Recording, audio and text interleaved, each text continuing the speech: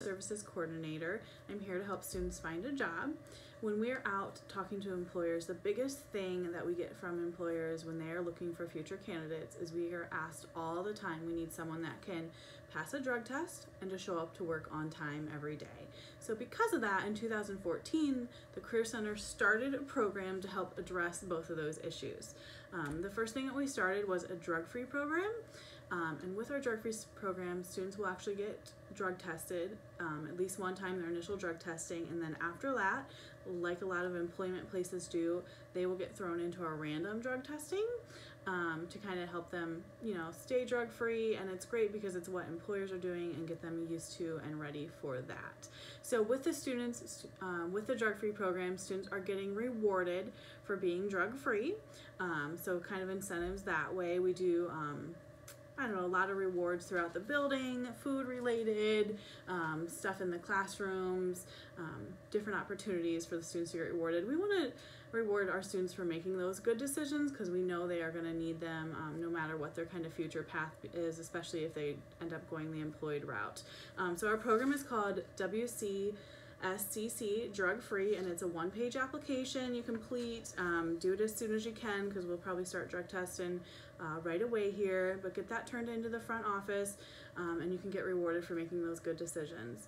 Uh, the program does cost some money because uh, we get charged from the company, so most students are going to end up paying $10. It is a completely voluntary program um, to join. Last year we had about 500 of our students in it. Um, so we are kind of at this point, if you're not in our drug-free program, excuse me, um, students are kind of in the minority that way. So it is a good opportunity for the students to show future employers um, their drug free club's card. So when they do pass a clean test, they will get a card with their name and photo on it um, of our WCSCC drug free club card.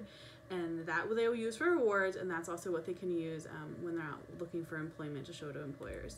The other program that we have is called Bring Your A Game to Work. And it's called A Game because we focus on seven different A Game um, attitudes and appreciation, appearance, uh, attendance, ambition, accountability, acceptance. Those are all things that we're focusing on. Some soft skills, some work ethic skills that employers are also asking for when they are looking for students and employees. So um, those are some soft skills to go with the technical skills that we're teaching to kind of get the students all rounded out. So they'll have um, the technical skills that they'll learn in lab, they will also learn our work ethic, soft skills um, of these A-game words here.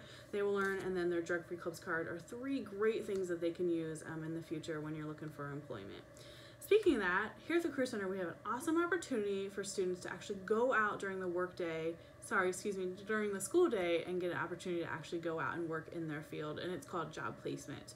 Um, so with job placement, instead of being in lab, five days a week, they can actually go out and work in their related um, field in a job um, to help them get them experience, great network building, um, resume builder. Most of those are paid, um, so it's an awesome opportunity for our students to do that. To qualify for a job placement, there are qualifications. So to be able, eligible, excuse me, for job placement, you have to qualify for it. And the qualifications are grades, attendance, and drug-free club membership. So the grades, we're looking for at least a B minus in your trade, a C minus in all your academics, and a 95% attendance rate. So unfortunately, not everyone will qualify. Um, I sure wish everyone did because we hopefully can get you a job. And um, please come see me if you're interested in that. It is a case-by-case -case basis, um, but I can look over and see if you would be approved and be able to have an opportunity for that.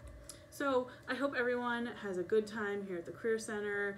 Hopefully these things will prepare you for your future no matter whatever your E is. So if you're planning on going to the military, college, enlisting, whatever that E is, those drug-free clubs and um, Bring Your A Game are going to look great on whatever type of application you're going to put in.